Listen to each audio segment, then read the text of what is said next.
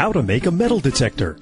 Like looking for lost treasure? There's no need to break the bank for a high-end metal detector. Just dig through your junk drawer. You will need an AM or AM-FM radio, a calculator, a standard CD case, and some Velcro. Step 1. Carefully disassemble the CD case by removing the insert that holds the CD in place. Step 2.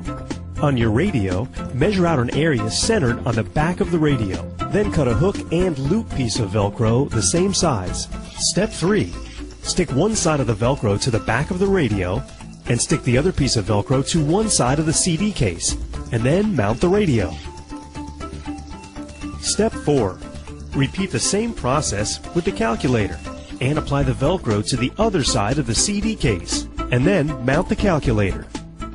Step 5. Make sure the radio is set to the AM band and turn it on. Now tune it to the highest end of the AM band, but not directly at a broadcast station. Turn the volume up and all you should hear is static. If there is a broadcast station at the very high end of the AM band, get as close as you can so you're just hearing static. Step 6. With the calculator on, start folding the CD case until you hear a loud tone.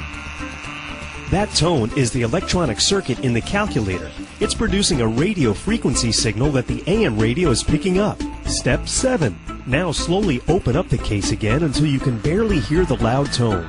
Then start moving your radio and calculator close to a metal object and you'll hear the loud tone again. Now the next time you drop something valuable, get your homemade metal detector and find it. Did you know in 1881 Alexander Graham Bell used one of the first metal detectors to try and locate a bullet in President James Garfield's chest? He was unsuccessful because the metal bed Garfield was on confused the detector.